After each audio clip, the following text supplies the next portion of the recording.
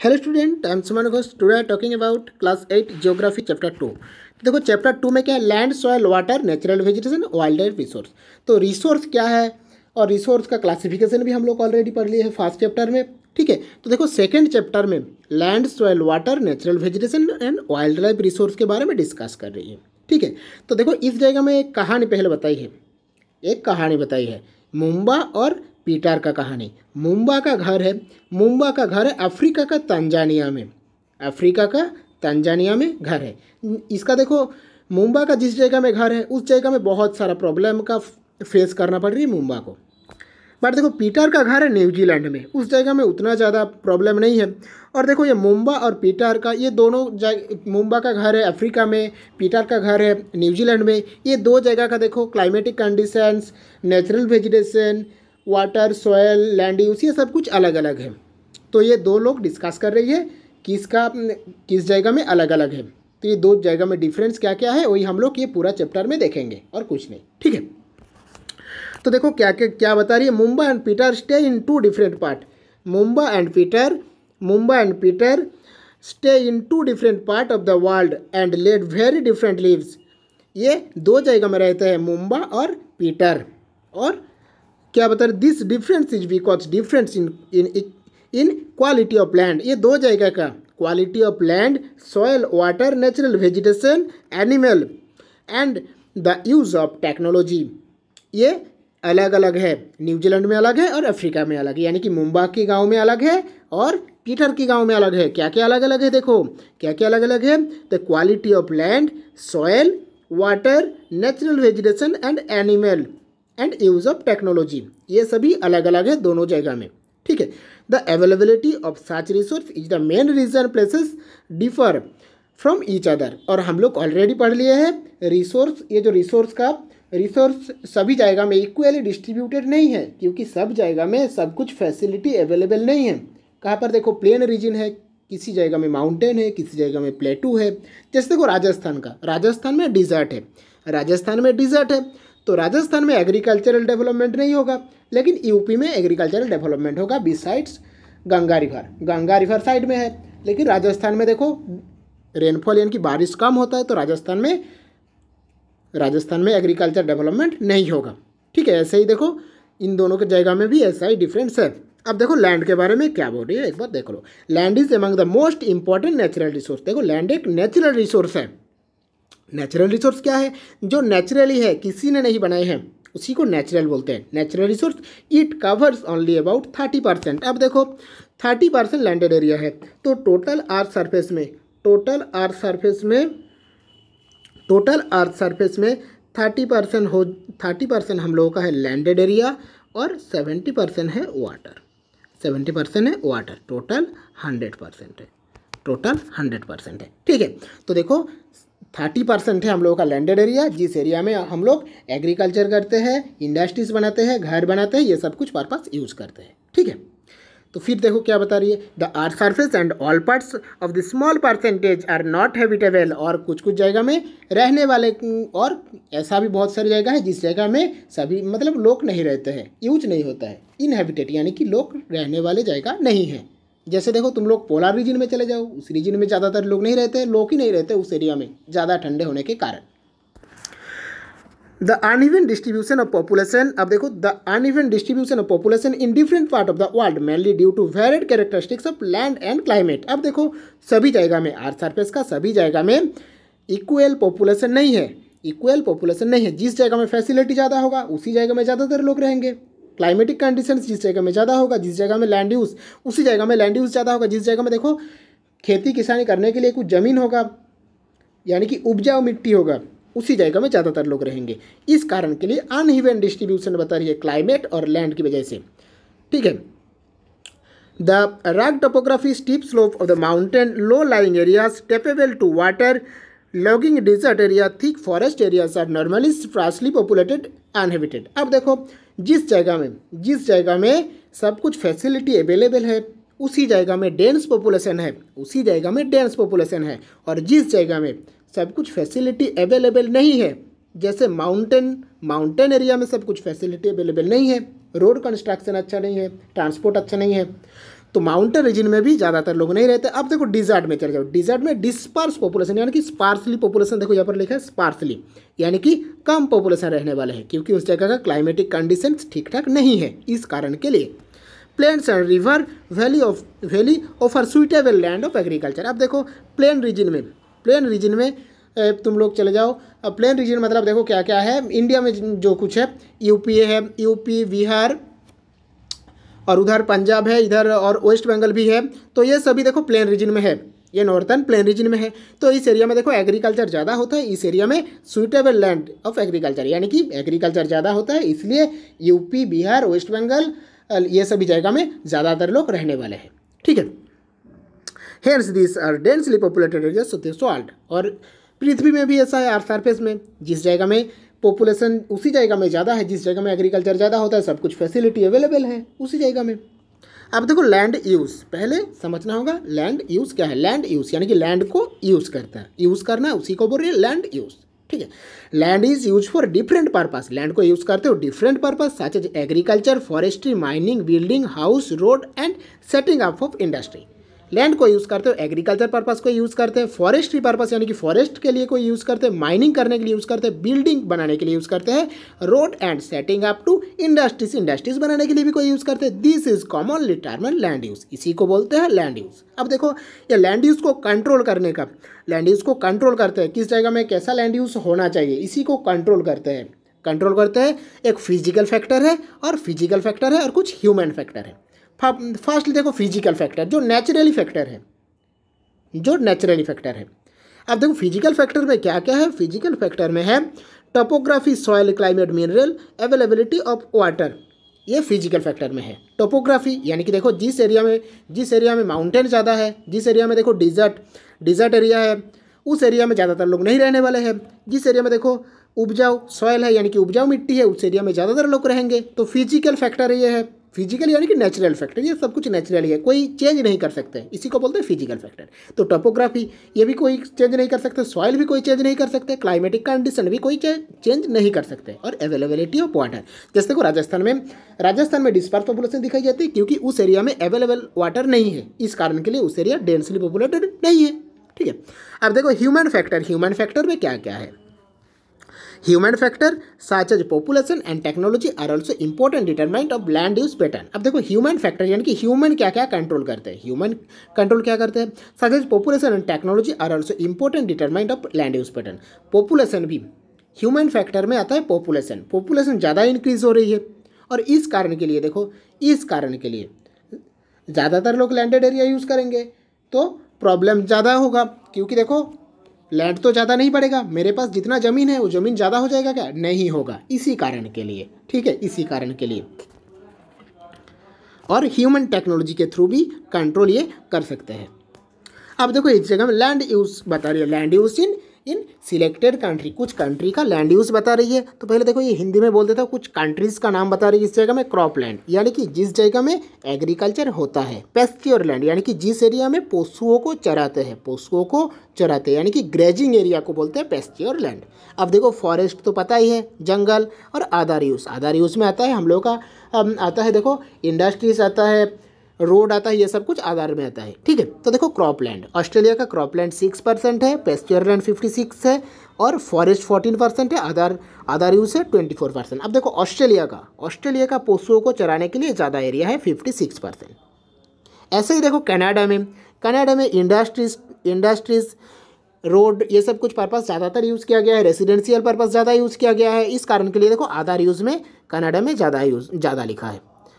ठीक है, अब ऐसे देखो, हम लोगों का इंडिया देख लो इंडिया का क्रॉप लैंड यानी कि एग्रीकल्चर लैंड इंडिया का एग्रीकल्चर लैंड इंडिया का जो टोटल एरिया है टोटल एरिया में यूज़ ज़्यादा यूज़ किया जाता है fifty seven percent agriculture purpose fifty seven percent use किया जाता है इंडिया का टोटल लैंड का, ठीक है?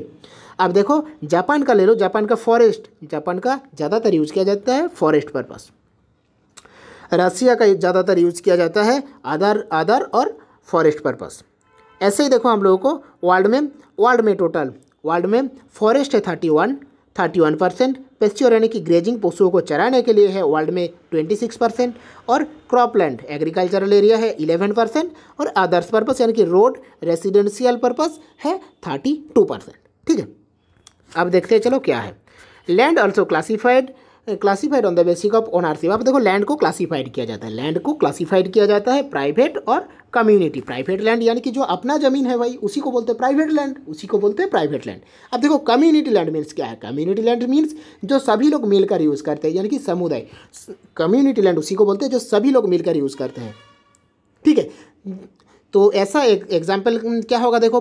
कम्युनिटी लैंड का एग्ज़ाम्पल होगा गार्डन होगा रोड होगा रेलवे होगा, ये सभी होगा कम्युनिटी लैंड क्योंकि ये सभी लोग यूज़ करते हैं। ये सभी लोग यूज़ करते हैं। मतलब सभी लोग मिलकर यूज़ करते हैं। गार्डन को देखो, सभी लोग यूज़ करते हैं। गार्डन को रोड को भी सभी लोग यूज़ करते हैं। रेलवे को सभी लोग यूज़ करते हैं। ठीक है? तो ये सभी हो जाएगा हम लोगों का कम्युनिटी लैंड ये सभी हो जाएगा हम लोगों का कम्युनिटी लैंड अब देखो प्राइवेट लैंड जो इंडिविजुअल लैंड है, अपना अपना ज़मीन है, उसी को बोलते हैं प्राइवेट लैंड यानी कि पर्सनल लैंड अब देखो जो प्राइवेट है, जो सॉरी जो कम्युनिटी लैंड है, वो कम्युनिटी लैंड को और बोलते हैं कॉमन रिसोर्स प्रॉपर्टी यानी कि सभी लोगों के लिए है, इसी कारण के लिए बोल रही है कॉमन रिसोर्स प्रॉपर्टी ठीक है? अब देखो people and they are demand और cover cover grazing but the availability of land is limited but ये लैंड देखो लिमिटेड है, क्योंकि कोई कुछ पर्पस अगर यूज़ करेंगे तो जितना लैंड है, उससे तो ज़्यादा नहीं हो जाएगा ना, उतना ही रहेगा। तो इसीलिए बोल रही limited the quality of land also different place to place to place ये देखो क्वालिटी ऑफ़ लैंड ये प्लेस टू प्लेस डिफरेंट होता है, यानी कि अलग अलग होता है। क्योंकि देखो, राजस्थान का लैंडेड एरिया अलग है, राजस्थान डिजर्ट है और यूपी का भी अलग है। ठीक है तो अलग अलग प्लेस के ऊपर ये अलग अलग होता है। ठीक है, अब देखो कुछ कुछ जगह में लैंड को यूज़ किया जाता है commercial purpose commercial purpose use किया जाता है, यानी कि इंडस्ट्रीज़ बनाने के लिए। यूज़ किया जाता है। हाउसिंग कॉम्प्लेक्स, कुछ जगह में इंडिया, हाउसिंग कॉम्प्लेक्स यानी कि बड़ा बड़ा बिल्डिंग, रेसिडेंशियल पर्पस यानी कि रहने के लिए बनाए जाते हैं। देखो today the first change in the land use pattern also reflect the cultural change in our society और इस टाइम में ज़्यादातर प्रभावित कर रही है ह्यूमन को। लैंड डिग्रेडेशन ये अच्छे से पढ़ो। Land degradation landslide soil erosion desertification are the major threat to the environment because the expansion of agriculture and construction activity अब देखो लैंड डिग्रेडेशन यानी कि मिट्टी को धस जाना। लैंड डिग्रेडेशन लैंड सेम है। सॉयल इरोशन यानी कि सॉयल खराब हो जाना। एक जगह से दूसरी जगह सॉयल को चले जाना, उसी को बोलते हैं सॉयल इरोशन ये होता है, ज़्यादा बारिश होने के कारण ये होता है। अपर एरिया से लोअर एरिया को सॉयल आ जाता है, इसी को बोलते हैं सॉयल इरोशन डिजर्टिफिकेशन यानी कि पेड़ को ज़्यादातर काटना। तो land degradation landslide soil erosion desertification इसी, ये सब कुछ ज़्यादा थ्रेट कर रही है हम लोगों का एनवायरमेंट को। अगर ज़्यादा पेड़ कटेंगे तो देखो पेड़ का जो रूट है रूट क्या करते हैं? मिट्टी को सपोर्ट देते हैं। अगर पेड़ को ही काट देंगे तो मिट्टी को सपोर्ट देगा क्या? नहीं देंगे। ठीक है? अब देखो लैंडस्लाइड लैंडस्लाइड ज़्यादा ज़्यादा होता है, माउंटेन रीजन में लैंडस्लाइड सबसे ज़्यादा होता है। डिजर्टिफिकेशन यानी कि ज़्यादातर पेड़ को काटना, और ये सब कुछ थ्रेट कर रही है हम लोगों का एनवायरमेंट को। और और देखो expansion of agriculture and construction activity और ज़्यादातर एग्रीकल्चर एरिया भी इंक्रीज कर रही है, इस कारण के लिए लैंड यूज़ कर रही है। और कुछ कंस्ट्रक्शन एक्टिविटी यानी कुछ इंडस्ट्रीज़ पर्पज भी लैंड को सभी लोग यूज़ करते हैं। देखो, यहाँ पर एग्ज़ाम्पल दिया गया है change in land use over time यहाँ पर देखो, यहाँ पर देखो रेल लाइन बनाए हैं, यहाँ पर देखो, कुछ स्कूल कॉलेज इंडस्ट्रीज़ बनाए हैं, और देखो, यहाँ पर रोड पर्पस यूज़ किए हैं। रोड देखो, देख, यहाँ पर देखो, कुछ रेसिडेंशियल पर्पस यूज़ किए हैं, यहाँ पर हॉस्पिटल वगैरह बनाने के लिए यूज़ किए हैं, यहाँ पर भी रोड पर्पस यूज़ किए हैं, यहाँ पर देखो बड़ा बड़ा बिल्डिंग बनाने के लिए यूज़ किए हैं, और रेलवे के लिए भी यूज़ किए हैं। तो ये different purpose of of land use आप देखो कंजर्वेशन ऑफ़ लैंड रिसोर्स हम लोगों को तो पता चल जाए, चल गया है लैंड यूज़ क्या है और लैंड किस किस पर्पज यूज़ करते हैं, अब हम लोगों को पढ़ना होगा कंजर्वेशन ऑफ़ लैंड यूज़ ठीक है? कि संरक्षण ये कैसे करना होगा? Growing population and they are and they are over grazing demanded has led to large scale destruction of forest cover arable land has created fear to losing this natural resource अब देखो ज़्यादातर पेड़ काटने की वजह से ये नेचुरल रिसोर्स नेचुरल रिसोर्स कम हो रही है। नेचुरल रिसोर्स कम हो रही है और अगर देखो पॉपुलेशन ज़्यादा होगा पॉपुलेशन ज़्यादा होगा तो ज़्यादातर पेड़ रहने के लिए तो घर बनाना होगा। तो और जिस जगह में घर बनाएँगे, पेड़ को काट कर बनाना होगा तो इस कारण के लिए नेचुरल रिसोर्स कम हो रही है। Therefore the present degradation of land must be checked afforestation land reclamation ये पॉइंट बहुत अच्छे से देखो, ये बहुत अच्छे से लिखा है। Afforestation land reclamation regulated and chemical pesticide and chemical pesticide and forty and fertiliser and checks on and checks on checks on overgrazing are some of common method use to conserve land resource ये अच्छे से देखो, ये बहुत अच्छा लिखा है। Afforestation हम लोगों को ये संरक्षण किसके थ्रू करना होगा? How to conserve how to conserve land resource अगर ये ये एग्ज़ाम में क्वेश्चन आएगा तो यहाँ से लिखना होगा। यहाँ से लेकर यहाँ तक। ठीक है? तो देखो लिख लेते हैं एफॉरेस्टेशन यानी कि ज़्यादातर पेड़ ल, पेड़ लगाना होगा। एफॉरेस्टेशन डिफोरेस्टेशन मतलब पेड़ काटना। एफॉरेस्टेशन मतलब पेड़ पेड़ लगाना। ठीक है? लैंड रिक्लिमिनेशन एक जगह का जो लैंड है उसी को देखभाल करना रिक्लिमिनेशन करना। यानी कि रिचेंज करके यूज़ करना। एक जगह में रोटेट करके यूज़ करना रिसाइकलिंग करना, उसी को बोले land reclamation regulated use of chemical fertilise chemical pesticide और हम लोग जो यूज़ करते हैं खेत में, जो हम लोग यूज़ करते हैं खेत में पेस्टिसाइड ये कम यूज़ करना होगा. And fertiliser to check on overgrazing overgrazing यानी कि पशुओं को ज़्यादातर एक जगह में नहीं चराना होगा, नहीं तो उस जगह का मिट्टी खराब हो जाता है. Are some the common method use to conserve land resource और ये इसके थ्रू तुम, ये सभी मेथड के थ्रू तुम लैंड रिसोर्स को कंजर्व कर सकते हो, यानी कि संरक्षण कर सकते हो। तो क्या क्या पॉइंट बताए? और एक बार देख लेते हैं, चलो। एफॉरेस्टेशन यानी कि पेड़ लगाना होगा। लैंड रिक्लिमिनेशन यानी कि हम लोगों को रिसाइकलिंग के थ्रू लैंड को यूज़ करना होगा। Regulated use of chemical pesticide यानी कि कंट्रोल में यूज़ करना होगा केमिकल पेस्टिसाइड को। And check on overgrazing are some the common method and check overgrazing यानी कि पशुओं को एक एरिया में कम मतलब कम मात्रा में चराना। ठीक है? और इसके थ्रू लैंड कॉन्सर्व हो सकता है। इस जगह में देखो बता रही है लैंडस्लाइड के बारे में। Landslide are simply defined as the mass movement ये लैंडस्लाइड यानी कि मिट्टी का धस जाना, यानी कि रॉक रॉक को धस जाना, पत्थर को धस जाना भी बोल सकते हो। ठीक है, देखो लैंडस्लाइड में क्या बता रही है, एक बार अच्छे से देख लो, पूरा क्लियर हो जाएगा टेंशन मत लो।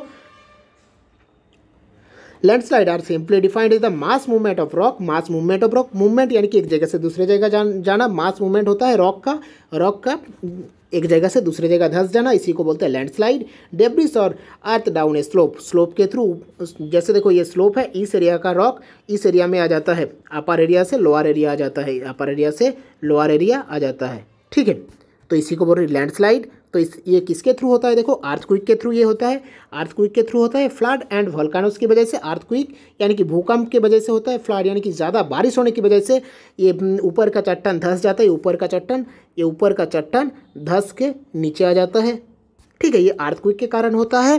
फ्लड यानी कि ज़्यादा बारिश होने के कारण होता है। वॉल्कानोस यानी कि जो हम लोगों को पता है, जो अर्थ सरफेस के नीचे जो मैग्मा है, उसी को बाहर निकलने की वजह से ये होता है वोल्कानोस की वजह से ये होता है। देखो, ये prolong spell to rainfall can cause heavy landslide और ज़्यादातर बारिश होने की वजह से भी ये होता है। ठीक है, ज़्यादातर बारिश होने की वजह से ये होता है। तो देखो लैंडस्लाइड यानी कि rock a mass movement of rock a mass movement of rock and reason क्या क्या है? रीजन है earthquake flood and volcano that's clear then देखो, क्या बता रही, एक केस स्टडी इस जगह में देखो, एक गाँव का एग्ज़ाम्पल दिया गया है, दिया गया है a massive landslide hit hit Pangi river sorry Pangi village near Nyang Reckong Peo in कन्नौर district अब देखो हिमाचल प्रदेश के गाँव का एग्ज़ाम्पल दिया गया है। इस एरिया में, इस एरिया में कैसे लैंडस्लाइड हुआ है? इस एरिया में कैसे लैंडस्लाइड हुआ है? ठीक है, देखो Himachal Pradesh and damage to hundred metre stretch of old Hindu old Hindustan Tibet road अब देखो इस गाँव में, इस गाँव का, इस गाँव में एक रोड है। इस गाँव के साइड एक रोड है, national highway twenty two, national highway twenty two, national highway twenty two, Hindustan Tibet road. उसी रोड का नाम है हिंदुस्तान तिब्बत रोड। ये रोड है, ये रोड किस जगह में है? हिमाचल प्रदेश में है। इस रोड में हुआ है लैंडस्लाइड इस रोड में हुआ है landslide this landslide was triggered by intense blasting triggered by intense blasting at pin at Pangi village अब देखो पंगी विलेज में कुछ प्रॉब्लम हुआ है लैंडस्लाइड की वजह से। Due to the blasting this weak zone slope collapsed and caused intense damage to road nearby village अब देखो विलेज में भी कुछ प्रॉब्लम हुआ है और एक जगह का मिट्टी धस जाने की वजह से और प्रॉब्लम हुआ किस जगह में? और हुआ है, ये ये रोड पूरा धस गया है। The Pangi village was completely vacated to avoided any possible loss of life और ये ये लोगों का जो वे ऑफ़ लाइफ है वे ऑफ़ लाइफ में लाइफ में यानी कि जीने का तरीका इसी कारण के लिए बदल गया है थोड़ा सा। ठीक है? अब देखो मिटिगेशन और मैकानिज्म मिटिगेशन मतलब हम लोग कुछ एडवांस जैसे हम लोगों को पता है कि उस एरिया में, यानी कि माउंटेन रीजन में ज़्यादातर लैंडस्लाइड होगा। तो हम लोग को पहले से ही क्या करना होगा, उसी एरिया को प्रोटेक्ट करने के लिए क्या क्या करना चाहिए। इसी को बोल रही है mitigation of meta of mechanism इसी को बोल रही है मिटिगेशन ऑफ़ मैकानिज्म देखो advanced in scientific technique has empowered us to understand what factor cause landslide and how to manage them और हम लोग को देखो, कुछ कुछ एडवांसमेंट करना होगा। एडवांस इन साइंटिफिक टेक्निक कुछ साइंटिफिक यूज़ करने के बाद, कुछ scientific use use scientific technique use करना होगा, जिसके थ्रू उस एरिया में कुछ प्रॉब्लम क्रिएट नहीं हो सके। इस कारण के लिए, देखो साम ब्रॉड मिटिगेशन कुछ ब्रॉड मिटिगेशन की बात किए गया है। Mitigation of landslide are follows क्या क्या मिटिगेशन की बात की है, एक बार देख लो। Hazard mapping to locate area prone to landslide hence such areas can be avoided for building settlement हम हम लोगों को क्या करना होगा? हेजार्ड मैपिंग हम लोगों को एक मैप बनाना होगा।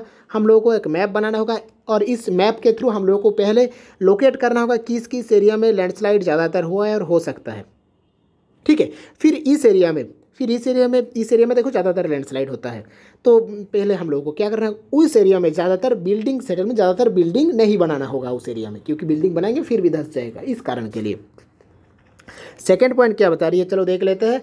Construction of of retention wall to stop land from slipping अब देखो, हम लोगों को क्या करना होगा? जैसे एक रोड है, एक रोड है रोड के साइड में हम लोग को प्रोटेक्ट देना होगा रिटेंशन देना होगा कॉन्स्ट्रक्ट ऐसा करके बनाना होगा कि ये नहीं धस सके। मतलब मिट्टी को प्रोटेक्ट देकर बनाना होगा। जो कुछ बनाना होगा साइड में पहले प्रोटेक्ट देना होगा, फिर बनाना होगा। पहले रोड बनाना होगा। रोड के साइड में देखो प्रोटेक्ट दिया गया है इस जगह में तो ऐसा ही करके बनाना होगा हम लोगों को। थर्ड पॉइंट क्या है? देखो increase in the vegetation cover of arrest landslide हम लोगों को क्या करना होगा? ज़्यादातर एरिया को वेजिटेशन कवर करने का प्रयास करना होगा। देखो the surface drainage control work to control movement of landslide along with rain water and spring flow हम लोगों को क्या करना होगा? ज़्यादा देखो फ्लड होने की वजह से ज़्यादा फ्लड होने की वजह से रिवर में फ्लो होता है ज़्यादातर पानी तो हम लोगों को क्या करना होगा? ये जो स्लोप है, ये जो स्लोप है, ये स्लोप को कम करना होगा।